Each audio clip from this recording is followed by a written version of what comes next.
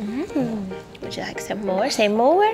No. All right. Michael is ready to experience yet another day filled with love, laughter, and language. What do you think you're gonna do today, buddy?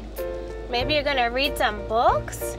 He is surrounded by loving adults who talk with him all day long. Michael, are you ready to begin class on this morning? Besides providing the food he needs to grow healthy and strong, his mother Kyla and his teacher Avasia are providing language nutrition. Lots of loving words to fuel his brain so his learning will take off. They know that engaging infants and toddlers in conversation provides a solid foundation for language, communication, and reading. You want to go over to the other side? Avasia is much more than Michael's teacher. She is partnered with Kyla as her Talk With Me baby coach to support her in being Michael's conversational partner.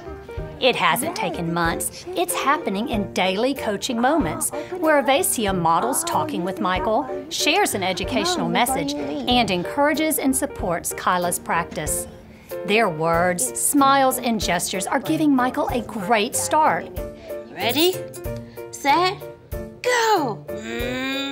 Every word he hears now from those special adults in his life is making a difference in his future, building his brain and setting him on a path to language, learning, and a world of opportunities.